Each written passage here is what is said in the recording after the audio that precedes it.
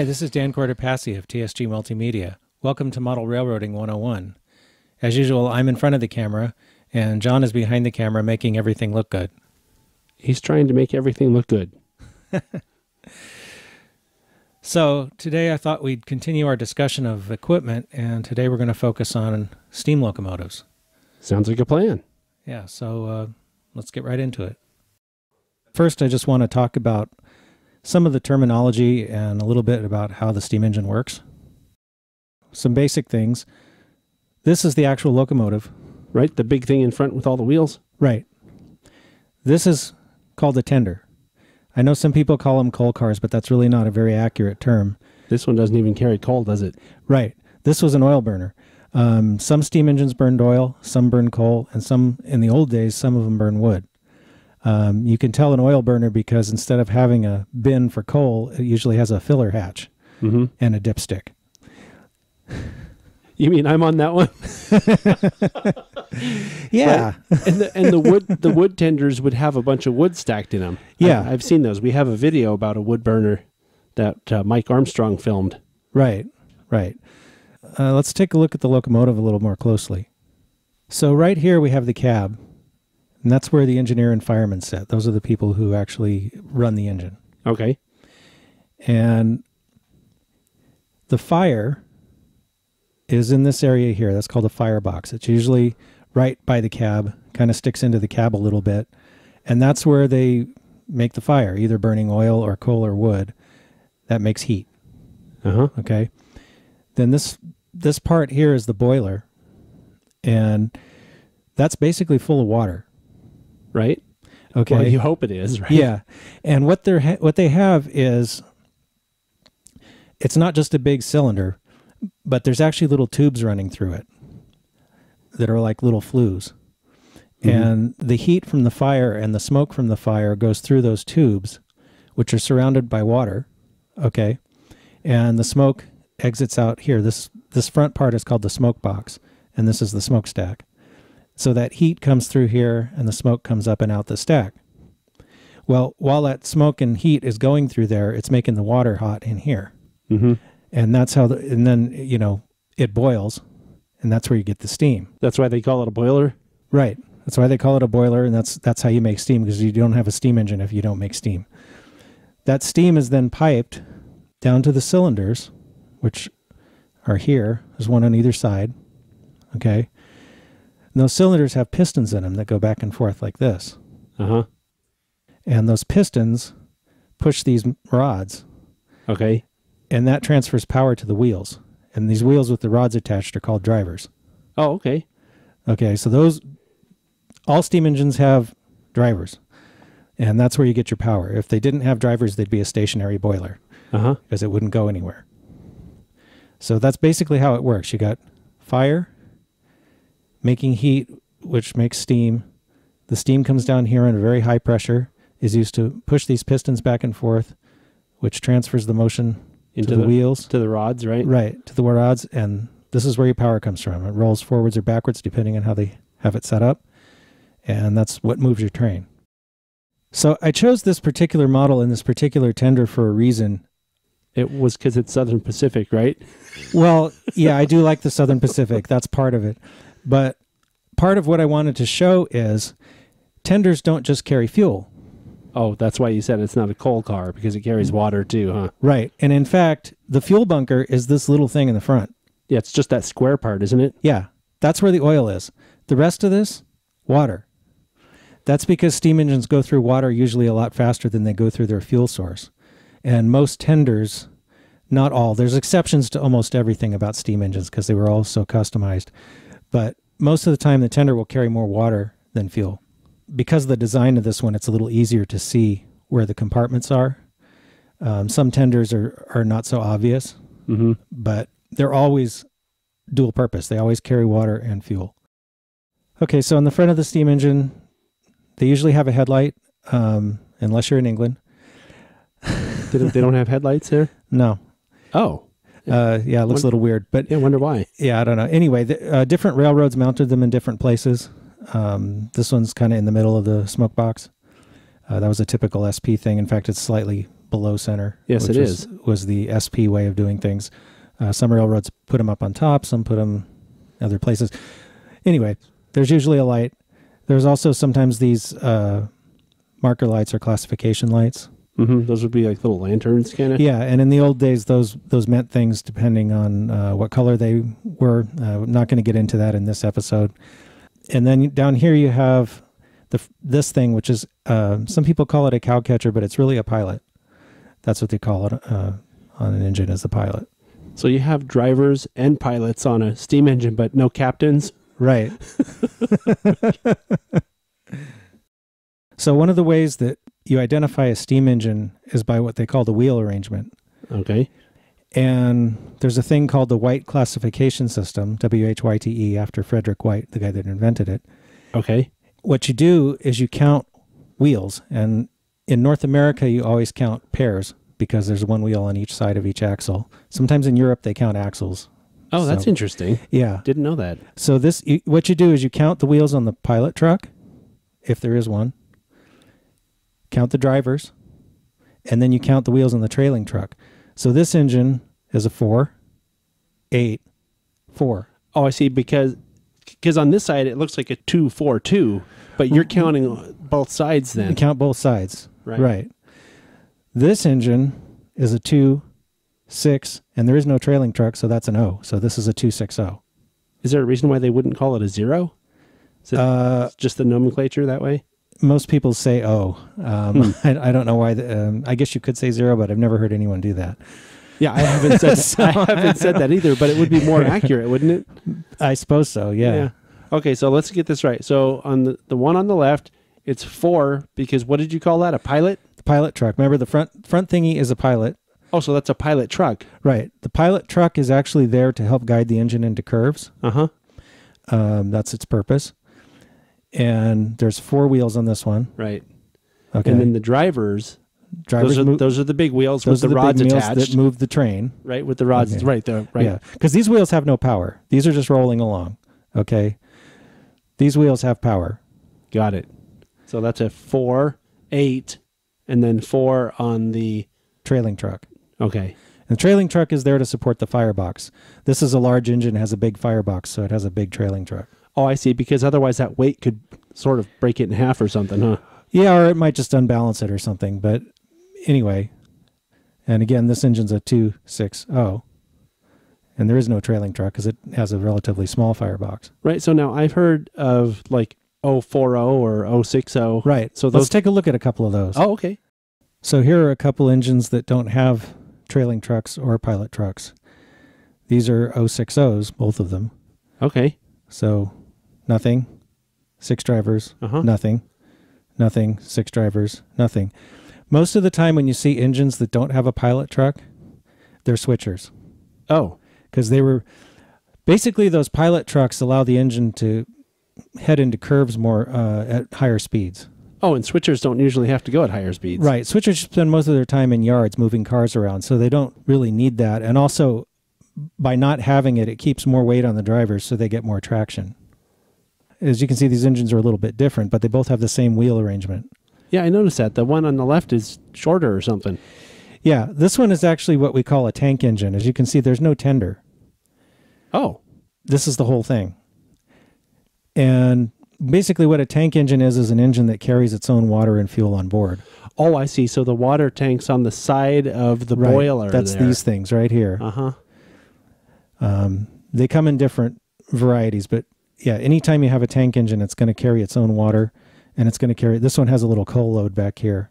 Oh, so that would be the f- the fuel part of the tender if it had it. This this right back here is where they keep the fuel. Now, this engine doesn't carry very much fuel and water, so it kind of stands to reason that this probably isn't going to go very far. It's going to be something that's used maybe in an, an industrial application or something where it you know they can refuel it.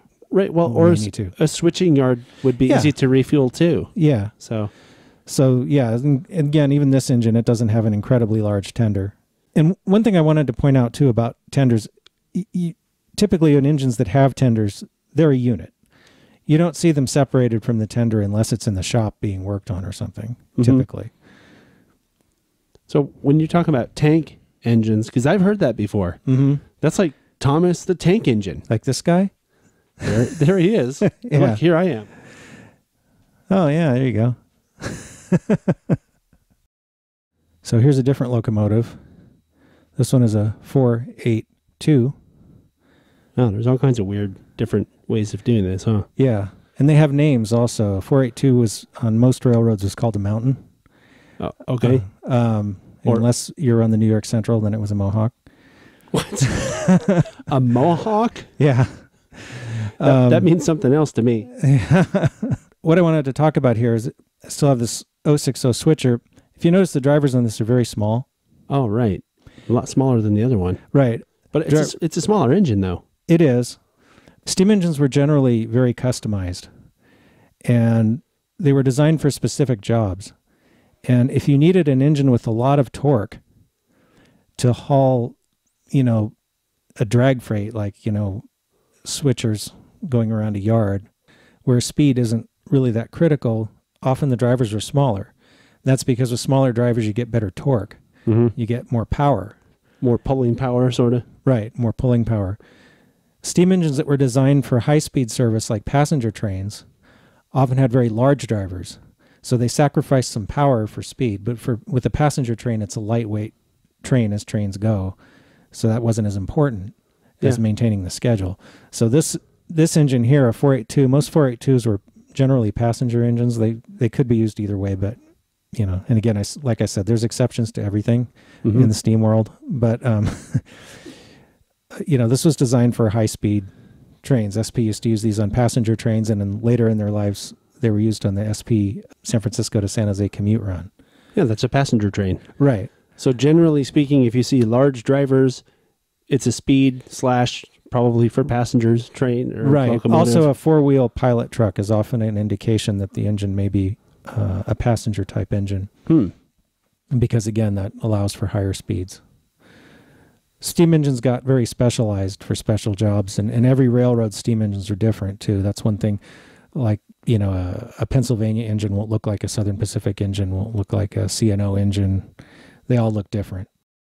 This is a 440 and this is an old wheel arrangement that was very common in the 1800s This is one of the first wheel arrangements that these kind of locomotives had, wasn't it? Yeah, once they kind of got past the initial, I mean, if you go way, way back, there were, you know, some different ones. But for a large part of the 1800s, this was kind of a standard design. Mm-hmm. Um, and in the uh, locomotives that were used at the Golden Spike ceremony in Promontory, Utah in 1869 were 440s. Okay, I think I've seen pictures of those. Yeah, they were a little more fancy looking than this one. Yeah, they're all blue and red and Yeah, colorful. yeah. This would represent one as it might have appeared later if it had been modernized somewhat and and as opposed to being scrapped. um, but back then, 440s handled a lot of duties, both passenger and freight. They hadn't quite gotten to the level of specialization with steam engines at that point, so they had so many different wheel arrangements. So It's also probably worthy of note to mention that back then, when they were using locomotives like this for more uh, versatile, you know, different things, that the trains, the consists were a lot shorter too. right, So they didn't have to have yeah, a bigger or a smaller driver, did they? I mean, because they wouldn't have had the the, the consists wouldn't have, have weighed a tremendously different amount. Right. The cars themselves were lighter. They Uh-huh. were often made of wood. And, you know, so it was just, you know, and the rail was lighter, everything was lighter. So as time went on, you know, they started to get bigger engines and, you know, more specialized engines. So this is a 260, also sometimes called a mogul. Okay, that's M O G U L. Yes. Okay, I've seen that before. Yeah. And these were primarily freight engines. Okay, When they were first developed, they were basically like someone took a 440 and put an extra driver on it and got rid of one of the pilot wheels.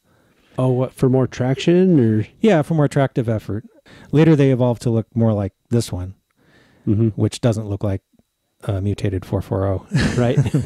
but uh, in later years, these were you know fairly small engines, so um, those that didn't get scrapped would have been used primarily for like local freight service or switching or something Uh-huh. like that.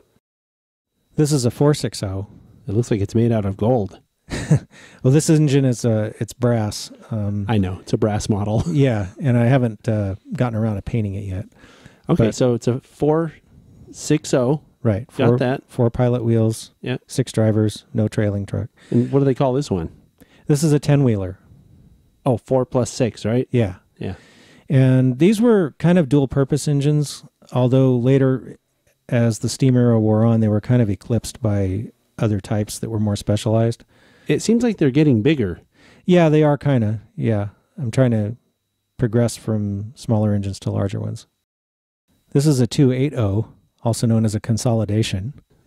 Anyway, these are primarily freight engines. And as you can see, it's got fairly small drivers, most of them Oh. Right for pulling power. for Yeah, pulling yeah. power.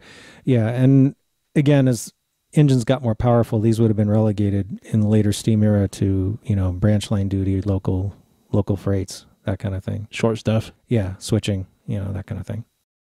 So this is a 262 or a prairie, as they're sometimes called. Um, this wasn't an incredibly popular wheel arrangement in North America.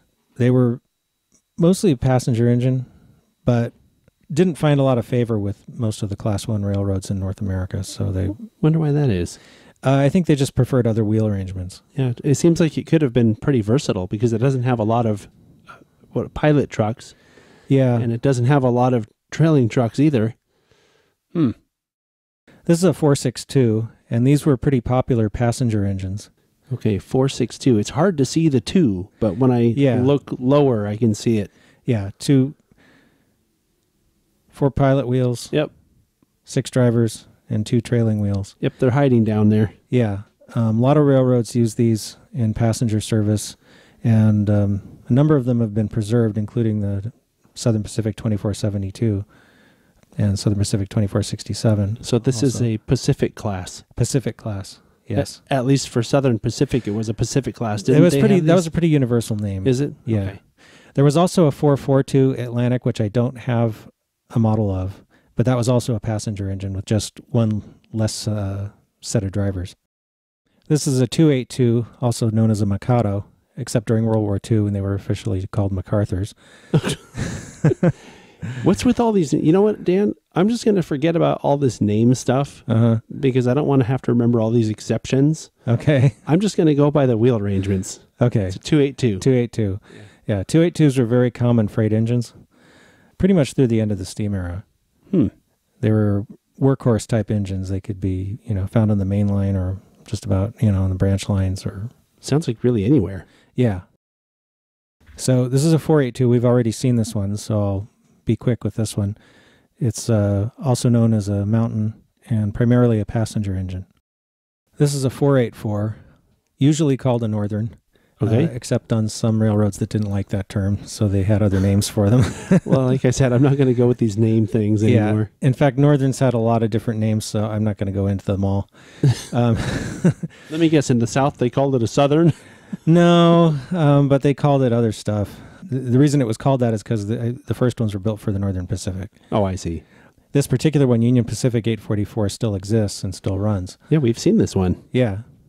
Um, but 484s are pretty much kind of like the culmination of steam technology in a, in a sense. These are dual purpose engines. that could be used for passenger or freight, Mm-hmm. and they're really powerful. And there were bigger engines, but you know, this kind of represents the state of the art at the end of the steam era. Okay. This is a 2104 or a Texas type. Everything's bigger in Texas. Yeah. These are basically big freight engines. And this particular one's a Santa Fe engine, and it also has a really big tender.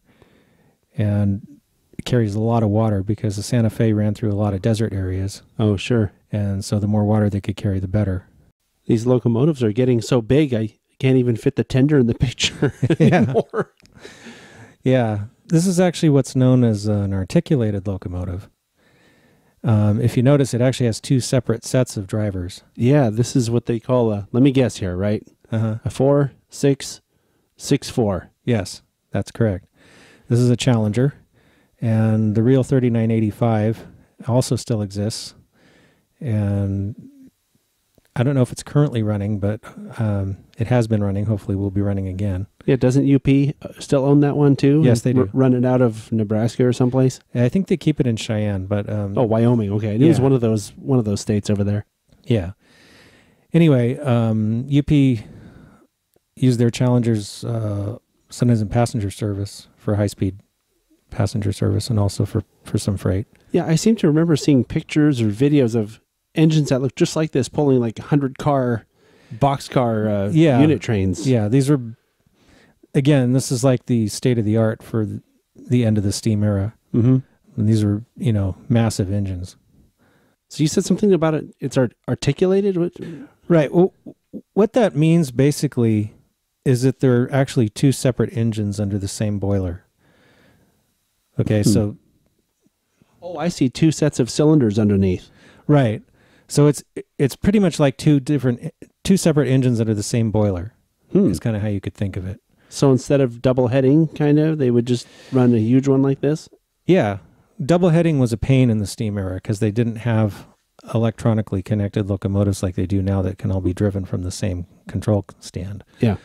They would have to have coordinated crews, you know, the engineer in one engine knowing what the engineer in the other engine was doing. Um, so it was a lot more difficult. Usually, the way that articulateds work is that the front engine So the will front, pivot. the front half, kind of. Yeah. Um, usually, the on the models, sometimes they're they're both able to pivot, but usually the the rear one is fixed in place, rigid, and the front one is hinged, so that when it goes around a corner, the engine can uh, turn. So it's almost like a pilot truck, but it's a whole. It's like more like a pilot locomotive almost. Kind of, yeah, Huh. yeah. This is a 2882. It's basically a freight engine. Okay. And this one is also what's known as a Malley. Malley's a special kind of articulated where it uses the steam twice. It uses the high pressure steam in the back and then runs it to the front cylinders and uses it again at a lower pressure. Oh, that looks like mallet. It looks like mallet, but it's Yeah. a French name. I don't know if it's Malay or what, but most people call them Malleys. Yeah.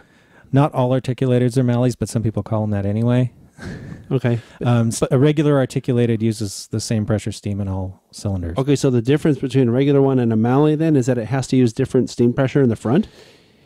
Yeah, it uses the steam twice basically. It's it's Mhm. using it in these cylinders and then sending it up to those. So it has like a rescue type hose that that captures it from the first Well, I don't know if- set, or how does that work? I'm you not know? sure how the plumbing actually works, but Oh. yeah, es- essentially, yeah. This is a this particular one's a coal burning engine, uh, Norfolk and Western, and Norfolk and Western had a lot of these Hmm. uh, or similar ones running around at one point. So I know the answer to this question, Dan, but I'm Uh-huh. going to ask it because somebody watching is wondering why this one is backwards. Um, well, this is a Southern Pacific cab forward. Yep. And the reason SP made engines like this was because they used to have these really long snow sheds on Donner Pass. Mm-hmm. And You might want to explain what a snow shed is. yeah, It's okay. like a tunnel, right? yeah, well, if you're not familiar with Donner Pass, it goes over the Sierra Nevada mountains in California. And depending on the year, it can get extremely heavy snows, Mm-hmm. like 20 foot drifts. Okay. It's a lot Uh, it doesn't do that every year, but it can. And so SP built a lot of sheds over the tracks that were basically like enclosed artificial tunnels Mm-hmm. uh, to keep them from how, having to plow so much. One of the consequences of that was that all the exhaust gases from the steam engines, Right. If you're running in the other direction, like the other every other locomotive we looked at. right, could get to the point where they would start making the crews have breathing problems. Asphyxiation. Right. So, one of their solutions was to turn the engine around. Mm-hmm. Put the exhaust behind the cab. Right. And these engines could pretty much only have been oil burners Mm-hmm. because just like any other steam engine, here's your firebox. Okay. It's way over here. Tender's way back there. so, unless you have liquid fuel that can be piped in, uh, really wouldn't work. Yeah. I just panned the camera over to see. This thing's really long. It is. It's This hard is- to show the whole thing on the table. Yeah. So this is a 4882. That's a lot of wheels. It's a lot of wheels. This engine actually also, the real one, uh, also still exists. It's in the California State Railroad Museum in Sacramento. Uh huh. So you can Uh. see this monster. You can, in fact, you can even go in the cab. That's exciting. Yeah. So these were, um, well, they actually, SP did use them in passenger service sometimes, but a lot of times they haul freight over Donner Pass and other places. uh, Yeah, I to think they u- yeah they used them in a lot of places Yeah. once they had them, huh? Yeah, they used them in other places too, but that was the impetus behind the design. Basically, was was for that line. You know, it's interesting too when you think about this because every other steam engine that I think I've ever seen is the opposite. You know, where the the exhaust is up in the front. This kind of is a precursor to diesels, isn't it? Sort of, Yeah. yeah, because usually diesels the cab is in the front nowadays. Right. I know the answer to this question too, but I'm going to say this anyway because this thing is huge. What is this monstrosity? Uh, this is what's known as a big boy. yeah. Um, they should have called it the biggest boy. Yeah, it's a 4884, arguably the biggest steam engine made. Only Union Pacific had these, Mm-hmm. and these were freight engines mostly, um, built to haul freight on the traditional UP that runs over Sherman Hill in Wyoming. And uh, this was probably the ultimate in steam technology. yeah. Do you know? It seems to me like Union Pacific had a thing for coming out with the biggest. Yeah. Because they had the biggest diesel too, didn't they? yeah, they had the uh, DD40s, Uh huh. which were um, pretty big, kind of like a modern day big boy. They also had the turbines. Oh, right. which were big. Yeah, you didn't see too much bigger than this. There were other big engines, uh, like the uh, I know the there was a two six six six Alleghenies. oh, is that was that the arrangement for those? Yeah, Hmm. they had a six wheel trailing truck. Those were pretty big too. Must have had a really heavy firebox in those. Yeah, um, there were also um, some pretty big two eight eight twos that worked, and then you know like Norfolk and Western out in the East Coast. I seem to remember I saw a video at some point where they were the, the people I guess narrating the video were claiming that the Allegheny was the biggest ever. You know, it, a lot of it depends on what you're measuring. You know, you can measure me- measure weight, you can measure length, Could You measure can- capacity, like how much Yeah. water it holds or something. yeah, or pulling power, or you know, how many wheels? firebox grate area. You know, there's all kinds of things. So I don't think any any engine was the biggest in in all categories Oh, I see. necessarily. May- Maybe that's what they were talking about. Yeah, that's why I said arguably the biggest. Looks like these two are going head to head or something. Yeah, I thought maybe go back to the small end of the scale since we've kind of seen the biggest. And I realized that I skipped over some wheel arrangements, like I didn't cover the 464 because I don't have any models of any of those. Mm-hmm. You mentioned Um, that. Yeah, there's so many different kinds of steam engines that you could talk about.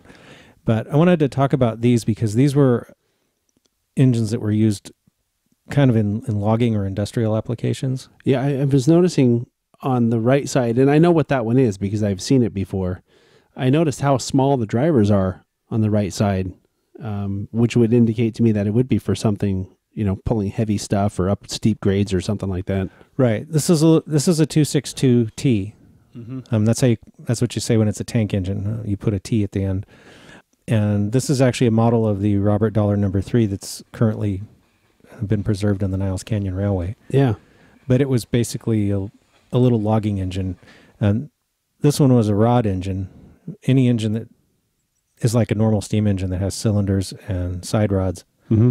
you call a rod engine. Um, Is that like a hot rod? no, they just call it that because it has side rods. I get it. Yeah. Um, this beast, on the other hand, is what we call a geared engine. Yeah, it doesn't have any rods. No, this is a totally different thing.